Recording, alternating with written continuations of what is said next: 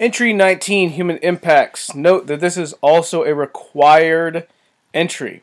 Uh, you will also be doing a small group project and presentation uh, involved with this entry. So you are going to describe a human impact on ecosystems and how we can reduce the effect of this impact. So I want the source of the impact, what effect it has, and what will happen if we don't address it. So what effect is it having right now? And how is it going to get worse if we don't do something about it? And then what are some of the steps we can take to actually reduce the impact that it's having? So identify and give the basics. And then depending on what you choose, you may have to give some background information. Alright, you need a paragraph or so describing the source.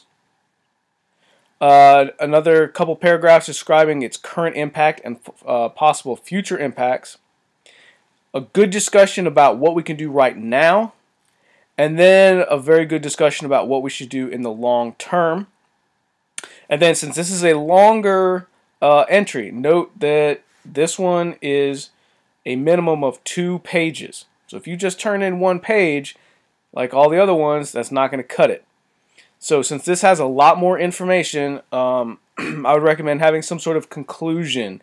Kind of go back and um, restate your thesis and just summarize the whole thing in general.